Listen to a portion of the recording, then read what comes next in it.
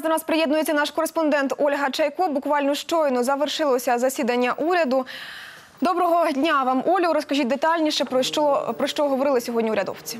Так, Анастасія, я можу сказати, що засідання не завершилося. Воно у самому розпалі. Це просто трошки раніше. Ми звідти вийшли.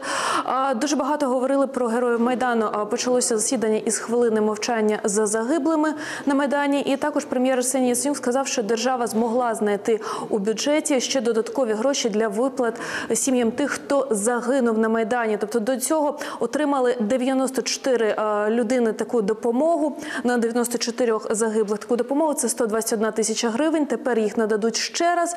А сину В'ячеслава Веремія, це кореспондент газети Вєсті. Йому дадуть стипендію, спеціальну стипендію. Також прем'єр дав завдання е, Міністерству внутрішніх справ та Генеральній прокуратурі до кінця тижня озвучити результати все таки розслідувань по розстрілах на Майдану Незалежності. І згадуючи ці події, він сказав, що тоді люди думали, що вони борються із Віктором Януковичем. Насправді е, Віктор Янукович був лише пішаком у цій війні, і це була війна Владимира Путіна проти України. Е, Також прем'єр розказав трошки ще раз сказав, випереджуючи президента, про те, що все-таки країна робить все можливе, аби вивести наших вояків з оточення е, в Дебальцевому. Не можу розкрити всіх деталей і всієї інформації, але робиться все для того, щоб особовий склад Збройних сил України був збережений і щоб обороноздатність українських збройних сил залишалась на тому ж високому рівні, на якому вона є. Ну і сьогодні ж уряд розгляне п'ять блоків співпраці із НАТО. Е, Зокрема, і створені такі е, натівські країнами, що входять до НАТО, трастовий фонд на е, реабілітацію наших військовослужбовців. У- ньому вже є 700 тисяч євро. Також НАТО допоможе нам у боротьбі в кіберпросторі і, і ще з із логістикою. Ну це лише такі деякі аспекти нашої співпраці.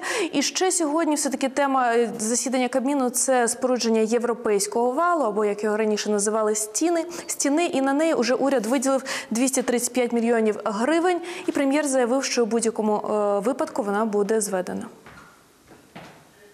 Хочу ще раз всім проросійським силам чітко повідомити: європейський вал будується і буде побудований.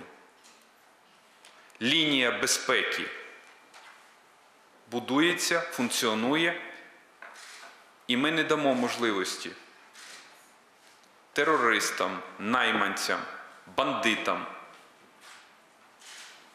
і іншим посібникам російського тероризму передавати зброю, пересікати державний кордон, пересікати лінію безпеки і відправляти туди розвідувально-диверсійні групи. Як я вже казала, то засідання уряду ще триває. О 15.45 ми матимемо більше інформації. Анастасія. Я вам дякую, Олю. Це була Ольга Чайко, наш кореспондент з уряду. Більше інформації про засідання кабінету міністрів вже у випуску о 15.45.